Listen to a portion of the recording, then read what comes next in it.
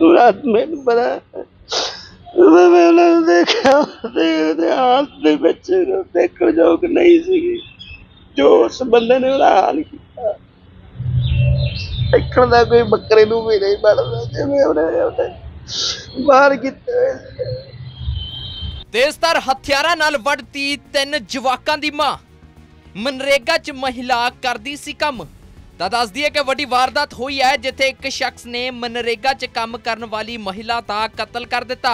ਜਿਸ ਤੋਂ ਬਾਅਦ ਪੁਲਿਸ ਨੇ ਇਸ ਸ਼ਖਸ ਨੂੰ ਹਿਰਾਸਤ ਦੇ ਵਿੱਚ ਲੈ ਲਿਆ। ਤਾਂ ਦੱਸਦੀ ਹੈ ਕਿ ਮਾਮਲਾ ਖੰਨਾ ਤੋਂ ਸਾਹਮਣੇ ਆਇਆ, ਜਿੱਥੇ ਇਹ ਮਹਿਲਾ ਮਨਰੇਗਾ 'ਚ ਕੰਮ ਕਰਦੀ ਸੀ। ਤਾਂ ਇਸ ਦੇ ਤਿੰਨ ਬੱਚੇ ਵੀ ਨੇ ਤੇ ਮੁਲਜ਼ਮ ਦੇ ਨਾਲ ਇਸ ਮਹਿਲਾ ਦੀ ਮੁਲਾਕਾਤ 3 ਸਾਲ ਪਹਿਲਾਂ ਹੋਈ ਸੀ। ਤਾਂ ਮਹਿਲਾ ਨੇ ਰਾਤ ਨੂੰ 8 ਵਜੇ ਪਰਿਵਾਰ ਦੇ ਨਾਲ ਰੋਟੀ ਖਾਧੀ ਸੀ, ਪਰ ਮੁਲਜ਼ਮ ਨੇ ਇਸ ਨੂੰ ਫੋਨ ਕਰਕੇ ਬੁਲਾਇਆ, ਜਿਸ ਤੋਂ ਬਾਅਦ ਛੋਟੀ ਜੀ ਗੱਲ ਤੇ ਇਹਨਾਂ ਦੀ ਤਕਰਾਰ ਹੋ ਜਾਂਦੀ ਹੈ ਤੇ ਫਿਰ ਉਸਨੇ ਤੇਜ਼ਧਾਰ ਹਥਿਆਰਾਂ ਨਾਲ ਹਮਲਾ ਕਰਕੇ ਇਸ ਮਹਿਲਾ ਦਾ ਕਤਲ ਕਰ ਦਿੱਤਾ। ਜਿਸ ਤੋਂ ਬਾਅਦ ਪੁਲਿਸ ਦੇ ਵੱਲੋਂ ਇਸ ਮੁਲਜ਼ਮ ਨੂੰ ਕਾਬੂ ਕਰ ਲਿਆ ਗਿਆ, ਤਾਂ ਪਰਿਵਾਰ ਦੇ ਵੱਲੋਂ ਹੁਣ ਸਖਤ ਸਜ਼ਾ ਦੀ ਮੰਗ ਕੀਤੀ ਜਾ ਰਹੀ ਹੈ।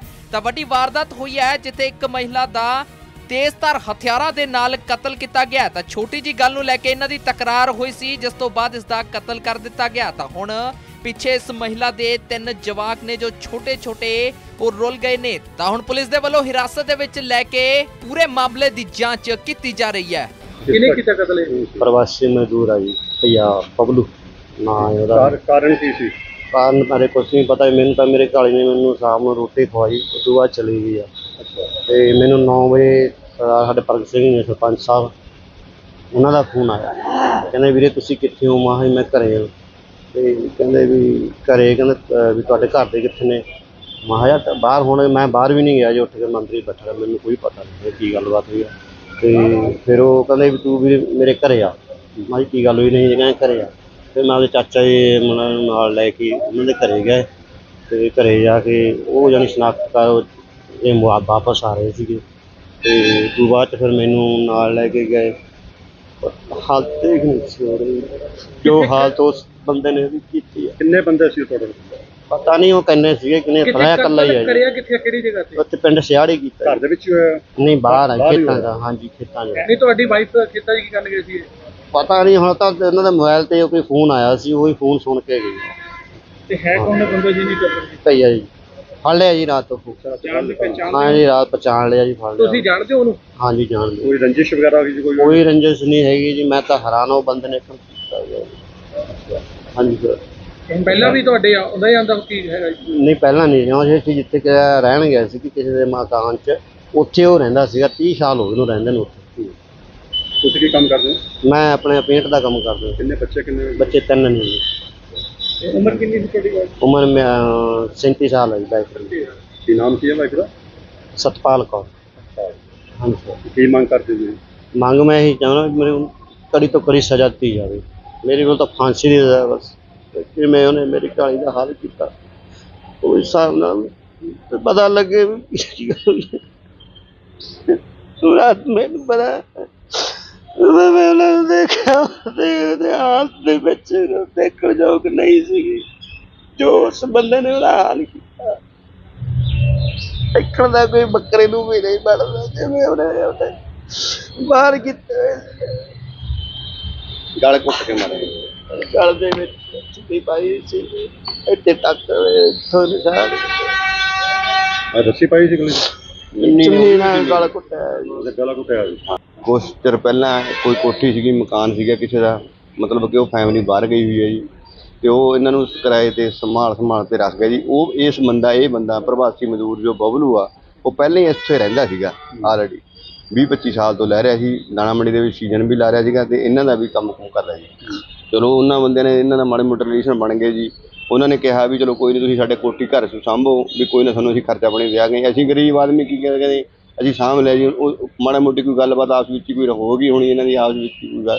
ਬਾਕੀ ਰੋਟੀ ਖਾ, ਖਾ- ਖਾਧੀ ਉਹਨਾਂ ਨੇ, ਰੋਟੀ ਇਹਨੂੰ ਪਾ ਕੇ ਗਏ ਨੇ ਘਰੇ। ਬਸ ਫੋਨ ਆਇਆ ਇਹਨਾਂ ਨੂੰ, ਫੋਨ ਤੇ ਗੱਲ ਕਰਦੇ ਕਰਦੇ ਹੀ 15 ਮਿੰਟਾਂ ਬਾਅਦ ਸਾਨੂੰ ਸਰਪੰਚ ਦਾ ਫੋਨ ਆ ਗਿਆ ਕਿ ਵਾ- ਵਾਰਦਾਤ ਹੋਈ ਪਈ ਆ, ਤੁਸੀਂ ਆ ਕੇ ਸ਼ਨਾਖਤ ਕਰ ਲਓ। ਅਸੀਂ ਜਦੋਂ ਗਏ ਆ, ਉੱਥੇ ਸਾਨੂੰ ਉੱਥੇ ਗਾਹਾਂ ਨਹੀਂ ਜਾਣ ਦਿੱਤਾ ਹੈਗਾ, ਉਹਨਾਂ ਨੇ ਨਾ ਹੀ ਅਸੀਂ ਦੇਖਿਆ ਕੁਝ ਹੁਣ ਅਸੀਂ ਪੋਸਟਮਾਰਟਮ ਲੈਣ ਆਏ ਆ ਸਾਨੂੰ। ਇਹ ਵਜ੍ਹਾ ਕੀ ਲੱਗਦੀ ਹੈ ਤੁਹਾਨੂੰ ਕੋਈ ਆਪਸ ਵਿੱਚ ਰੰਜਿਸ਼ ਹੋ ਗਈ ਸੀ ਜਾਂ ਸੀ ਗੱਲ ਇਹ ਕੀ ਕਹਿ ਸਕਦੇ ਜੀ ਆਪਾਂ ਹੁਣ ਜਾਂ ਉਹਨੂੰ ਪਤਾ ਜਾਂ ਉਹ ਬੰਦੇ ਨੂੰ ਪਤਾ ਜੀ ਜਾਂ ਕੀ ਕੀ ਗੱਲਬਾਤ ਹੈ ਕੀ ਨਹੀਂ ਗੱਲਬਾਤ ਹੈ। ਤੇ ਹੁਣ ਬੱਚੇ ਕਿਤੇ ਕਿਤੇ ਨਹੀਂ ਬੱਚੇ ਛੋਟੇ ਇੱਕ 15 ਸਾਲ ਦਾ ਜੀ ਬੇਟਾ ਤੇ ਗੁੜੀਆ ਹੈਗੀ ਆ ਮਤਲਬ 7-8 ਸਾਲ ਦੀ ਹੈਗੀ ਆ ਤੇ ਛੋਟਾ ਬੇਟਾ 5 ਸਾਲ ਦਾ ਜੀ। ਪਹਿਲੀ ਗੱਲ ਤਾਂ ਜਿਹੜੇ ਭਈਏ ਭੂਈਏ ਨੇ ਸਾਰੇ ਇਹ ਪੰਜਾਬ ਚੋਂ ਬਾਹਰ ਹੀ ਕੱਢਣੇ ਚਾਹੀਦੇ ਨੇ। ਇਹਨਾਂ ਦੀ ਸ਼ਨਾਖਤ ਕਰਕੇ ਹੀ ਰੱਖਣਾ ਚਾਹੀਦਾ ਇੱਥੇ ਇਹਨਾਂ ਨੂੰ। ਇਹਨਾਂ ਦਾ ਸਾਰਾ ਬਾਇਓ ਡਾਟਾ ਲੈ ਕੇ A to Z ਜਦੋਂ ਆਪਾਂ ਨੂੰ ਯਕੀਨ ਹੋ ਗਿਆ ਤਾਂ ਹੀ ਇਹਨਾਂ ਨੂੰ ਘਰ ਦੇ ਵਿੱਚ ਵੜਨਾ ਚਾਹੀਦਾ। ਨਹੀਂ ਤਾਂ ਹੁਣ ਇਹਨਾਂ ਨੂੰ ਸਖਤ ਤੋਂ ਸਖਤ ਦਾ ਜਿਹਦਾ ਫਾਂਸੀ ਦੀ ਸਜ਼ਾ ਹੋਣੀ ਚਾਹੀਦੀ ਹੈ। ਤੇ ਜਿਹੜਾ ਉਹ ਬ- ਬੰਦਾ ਫੜਿਆ ਸੀ ਭਈਆ ਫੜਿਆ ਸੀ ਉਹਨੂੰ ਕਿੱਥੋਂ ਫੜਿਆ ਗਿਆ ਉਹਨੂੰ? ਉਹ ਫੜਿਆ ਗਿਆ ਜੀ ਅਸੀਂ ਸਾਰੀ ਦਿਹਾੜੀ ਮੇਰੇ ਯਾਰ ਦੋਸਤ ਮੁੰਡੇ 25 30 ਮੁੰਡੇ ਘੱਟੋ ਘੱਟ ਪਿੰਡ ਦੇ ਸਾਰੇ ਸਾਰੀ ਰਾਤ ਹੀ ਅਸੀਂ ਘੁੰਮਦੇ ਰਹੇ ਤੜਕੇ ਸਾਨੂੰ ਸਵੇਰੇ ਉਹ 3 ਵਜੇ ਜਾ ਕੇ ਮਲੌਦ ਰੋੜੀਆਂ ਵਾਲੇ ਅੱਡੇ ਤੋਂ ਮਲੌਦ ਤੋਂ ਸਾਨੂੰ ਸੁੱਤਾ ਪਿਆ ਪਾਇਆ ਗਿਆ ਮਿਲਿਆ ਉਹ। ਉਹ ਵੀ ਅਸੀਂ ਘੁੰਮ ਫਿਰ ਕੇ ਬਹੁਤ ਮੁਸੱਤਤ ਦੇ ਨਾਲ ਮਿੱਤਰਾਂ ਨੇ ਯਾਰਾਂ ਦੋਸਤਾਂ ਨੇ ਬਹੁਤ ਹਿੰਮਤ ਕਰੀ। ਆਹ ਮੁੰਡਾ ਜਗਰਾਜ ਆ ਜੀ ਇਹਨਾਂ ਨੇ ਬੰਦਿਆਂ ਨੇ ਬਹੁਤ ਹਿੰਮਤ ਕਰੀ ਹੈ ਸਾਡੇ ਨਾਲ। ਕੋਈ ਬੰਦਾ ਰਾਤ ਨੂੰ ਸਾਡੇ ਯਾਰ ਦੋਸਤ ਕੋਈ ਸੁੱਤਾ ਨਹੀਂ ਹੈਗਾ ਅਸੀਂ ਸੂਈਆਂ ਲੈਂਦੇ ਫਿਰੀ ਗਏ ਕਿਤੇ ਨਾ ਕਿਤੇ ਸਾਡੇ ਛੋਟੇ ਛੋਟੇ ਜਵਾਕ ਵੀ ਸਾਡੇ ਨਾਲ। ਪੁਲਿਸ ਨੇ ਮਦਦ ਕੀਤੀ ਉਹਦੀ? ਪੁਲਿਸ ਨੇ ਬਹੁਤ ਮਦਦ ਕਰੀ ਹੈ ਜੀ ਸਾਡੀ ਬਹੁਤ ਜ਼ਿਆਦਾ ਮਦਦ ਕਰੀ ਆ। ਸਾਰੀ ਦਿਹਾੜੀ 3 ਵਜੇ ਤੱਕ ਐਸਐਚਓ ਸਾਹਿਬ ਨੇ ਐਸਆਈ ਸਾਹਿਬ ਨੇ ਥਾਣੇਦਾਰ ਸਾਹਿਬ ਨੇ ਸਾਡੇ ਨਾਲ। ਰੋਟੀ ਵੀ ਨਹੀਂ ਖਾਧੀ ਹੈਗੀ ਉਹਨਾਂ ਨੇ ਸਾਡੇ ਨਾਲ ਜਾਣੀ ਪੂਰੀ ਤਰ੍ਹਾਂ ਹੀ ਘੁੰਮਦੇ ਰਹੇ ਨੇਗੇ। ਆਖਰਕਾਰ ਅਸੀਂ ਜਾ ਕੇ 3 ਵਜੇ ਜਾ ਕੇ ਸਾਨੂੰ ਸਫਲਤਾ ਮਿਲੀ ਹੈ। ਉਹ ਵੀ ਅਸੀਂ ਸਾਡੀਆਂ ਮੁੜੀਆਂ ਸੀਗੀਆਂ, ਨਾਲ ਉਹਨਾਂ ਨੇ ਦੇਖਿਆ ਇਹਨੇ ਬੰਦੇ ਨੇ ਇਹਨੇ ਹੀ ਤੇ ਪਛਾਣਿਆ ਜੀ ਬੰਦੇ ਨੂੰ ਉਹਨੂੰ। ਕਿ ਇਹੀ ਆ ਉਹ ਬੰਦਾ, ਸਾਡੇ ਤਾਂ ਪਛਾਣ ਚ ਵੀ ਨਹੀਂ ਆਇਆ, ਮੈਂ ਤਾਂ ਹੈ ਵੀ ਨਹੀਂ ਸੀਗਾ ਉੱਥੇ। ਇਹੀ ਬੰਦੇ ਨੇ ਉਹਨੂੰ ਫੜ ਕੇ ਲੈ ਗਏ ਨੇ, ਇਹੀ ਉਹਨਾਂ ਨੇ ਕਟਾਪਾ ਉਟਪਾ ਕਰਿਆ ਮੜਾ, ਫਿਰ ਐਸਐਸਪੀ ਥਾਣੇਦਾਰ ਸਾਹਿਬ ਨੇ ਉਹਨਾਂ ਨੂੰ ਦੱਸਿਆ ਵੀ ਇਹੀ ਬੰਦਾ ਸੀ ਫਿਰ ਇਹਨਾਂ ਨੇ ਅਰੈਸਟ ਕਰਾਇਆ ਵੀ ਹਾਂ ਇਹੀ ਬੰਦਾ। ਇਹਨਾਂ ਨੇ ਮਾਰਿਆ ਉਹਨੇ ਫਿਰ ਉਹਨੇ ਪਤਾ ਨਹੀਂ ਜਾਨੂੰ ਕਬੂਲ ਕਰਿਆ ਕਿ ਨਹੀਂ ਕਰਿਆ। 100% ਜਾਨੀ ਸ਼ੋਰ ਆ ਵੀ ਉਸ ਬੰਦੇ ਨੇ ਹੀ ਕਤਲ ਕਰਿਆ। ਹੈ ਇੱਕੋ ਬੰਦਾ ਸੀ ਹੋਰ ਵੀ ਬਣਾ ਉਹਦੇ ਨਾਲ ਹੋ ਸਕਦਾ ਵੀ ਇਹ ਇਕੱਲੇ ਬੰਦੇ ਦਾ ਕੰਮ ਨਹੀਂ ਹੈਗਾ ਇਹ ਇੱਕ ਦੋ ਬੰਦਾ ਨਾਲ ਹੋਰ ਹੋ ਸਕਦੇ ਨੇ।